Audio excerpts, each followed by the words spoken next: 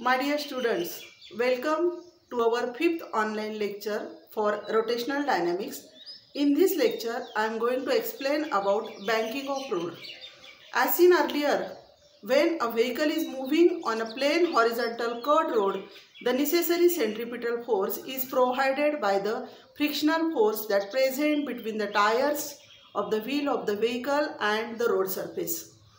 But this frictional force is not the reliable force sometimes. How we can say the, this? When during the rainy season on the road surface, the road surface may become uh, wet due to the rains. Sometimes some oil may spread on the road surface uh, that is dropped from the vehicles.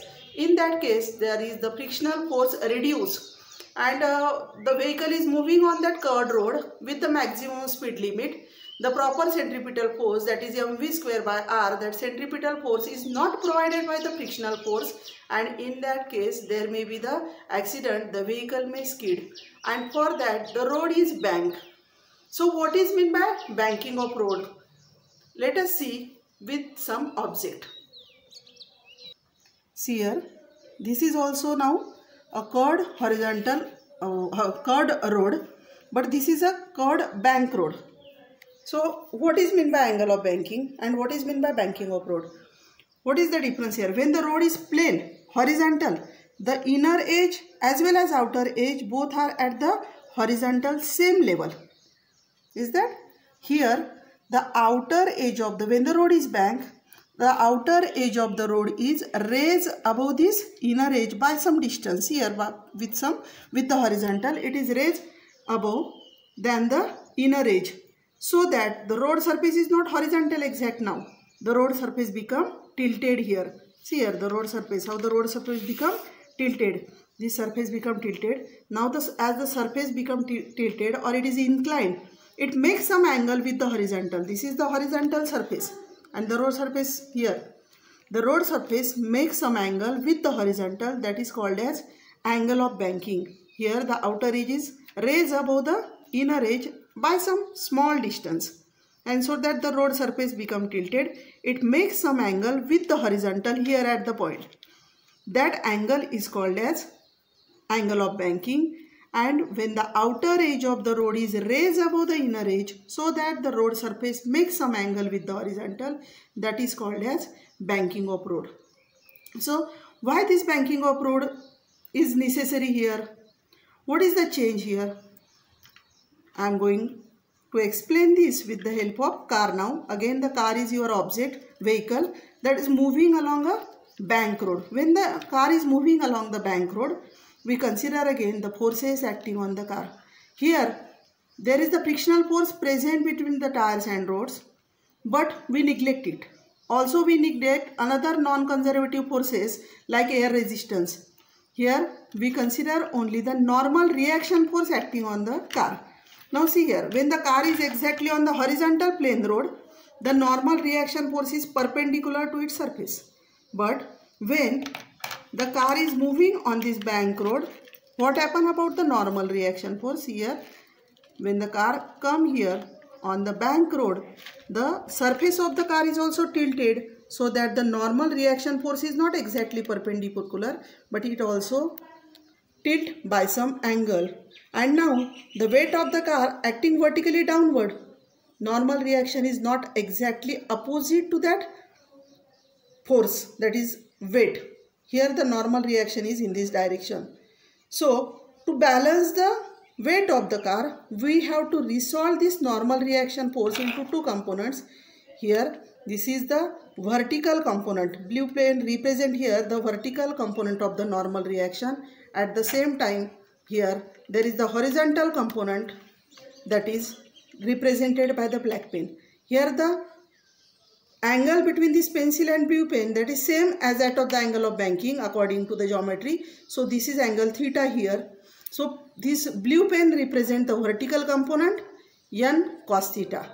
Pencil represent the normal reaction force n and the black pen represent the horizontal component n sin theta. Listen here. This n sin theta is directed along the radius towards the center. The n cos theta, that is the blue pen, is exactly opposite to the weight of the car. so that the weight of the car mg is balanced by the component vertical component n cos theta and the only net resultant force again acting on the car is here that is n sin theta directed along the radius towards the center this n sin theta provides here the centripetal force so by considering these forces, we can find again here the expression for maximum velocity with which a vehicle can move along a bank road and also we can find the expression for angle of banking. So let us see it. So let us find the equations here. This diagram shows the vertical section of a vehicle moving along a bank road and here we have to find the maximum velocity, optimum velocity and the angle of banking for this vehicle. Suppose we consider here, I have not write the consideration here, it will given you to in, in the notes also. So here we consider the car or any vehicle of mass m moving along a bank road with some velocity v means we consider v is the velocity of the vehicle m is the mass of the vehicle and R is the radius of the bank road. Now, what are the forces acting on the vehicle? As we discuss it while in the object. Now see here, what are the forces acting on the vehicle? There are the two main forces acting on the vehicle. That is, one is the weight mg acting vertically downward and one force is the normal reaction force. There are only two forces we consider here, the normal reaction force and the weight mg acting vertically downward. The normal reaction force is perpendicular to the road surface and perpendicular to the vehicle.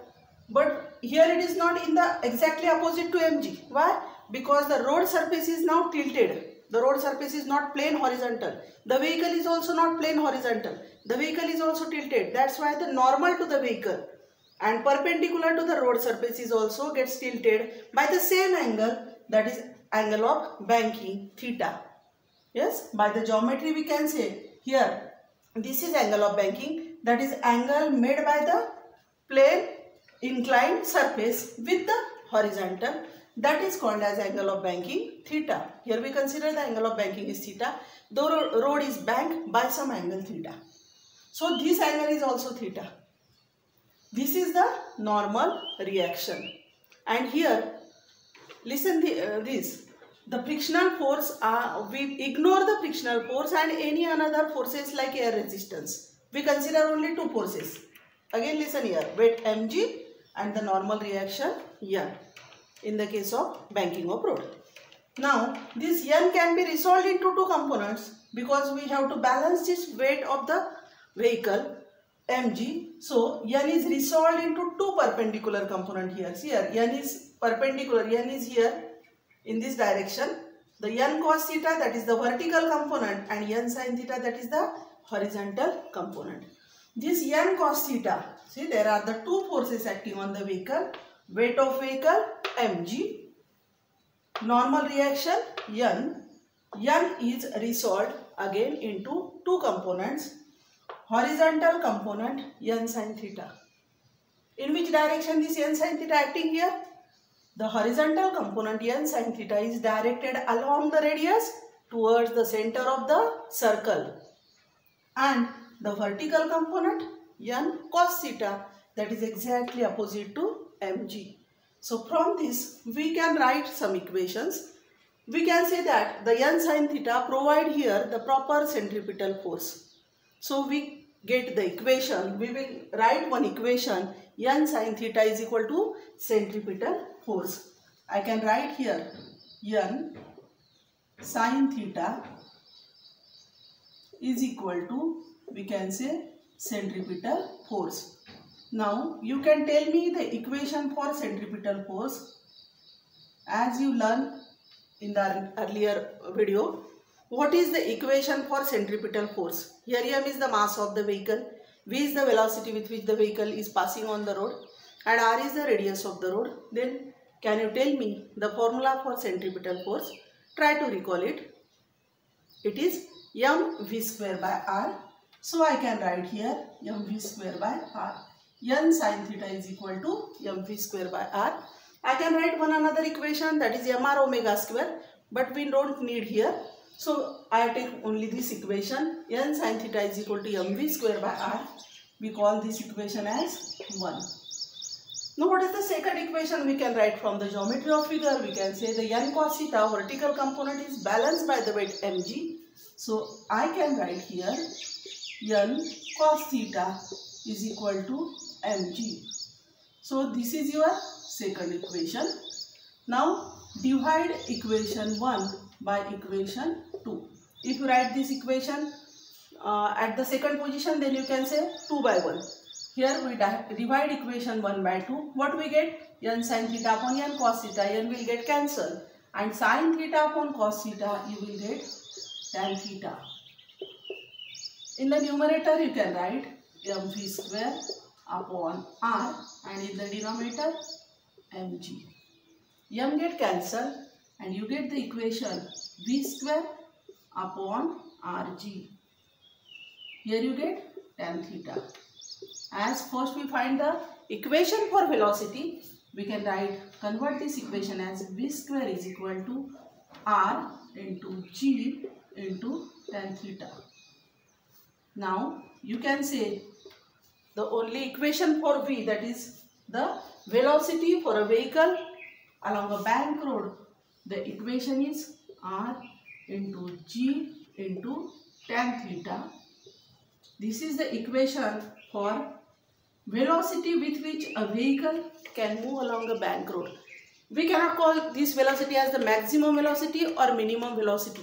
This is the safe velocity so that in your syllabus the notation given here that is Vs. Vs is equal to under root of Rg tan theta. We have to find the maximum speed and minimum speed limits that we will discuss in the next video.